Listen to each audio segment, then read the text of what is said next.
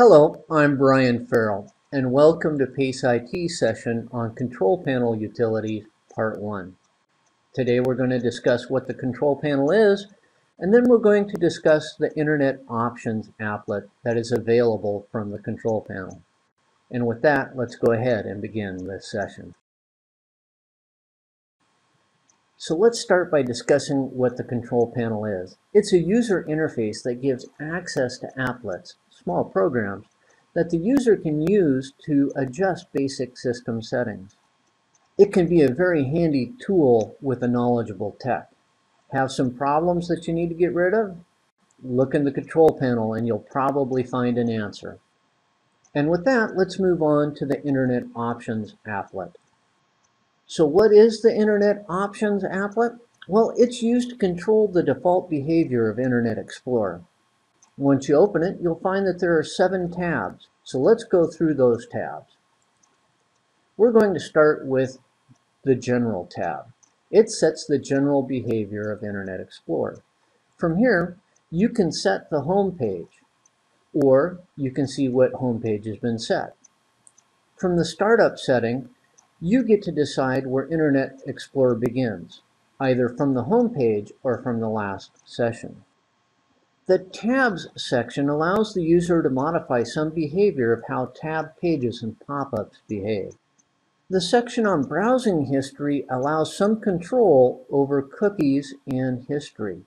You can set it so that Internet Explorer deletes the browsing history when it closes, or you can manually delete the caches from here. From the Appearance section, some modifications can be made to how web pages appear.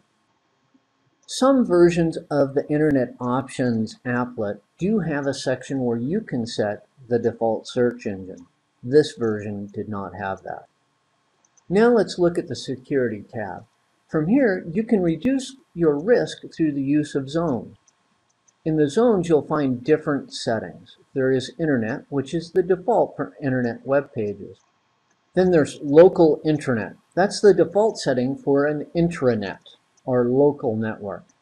Then there are trusted sites. Those are user-identified sites that can be granted more privileges than internet sites. It's a more relaxed security.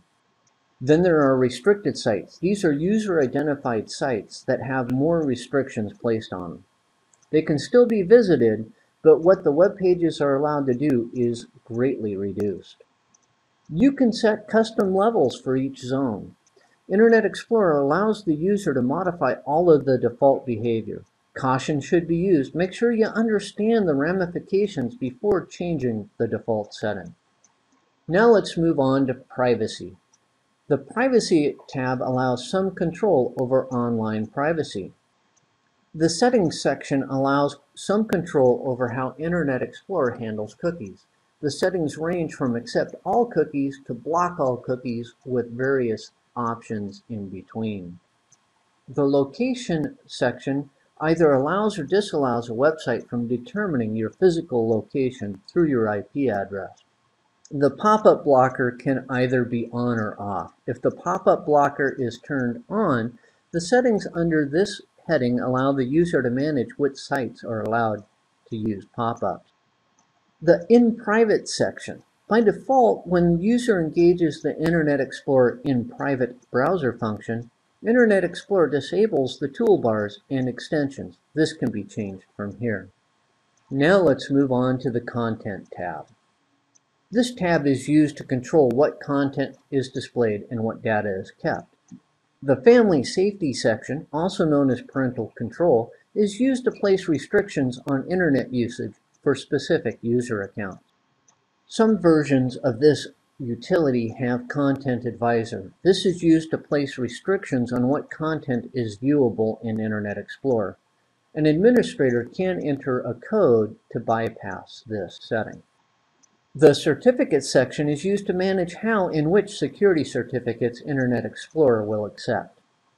Internet Explorer can remember information used to fill out web forms and uses the autocomplete function to autocomplete forms for the user.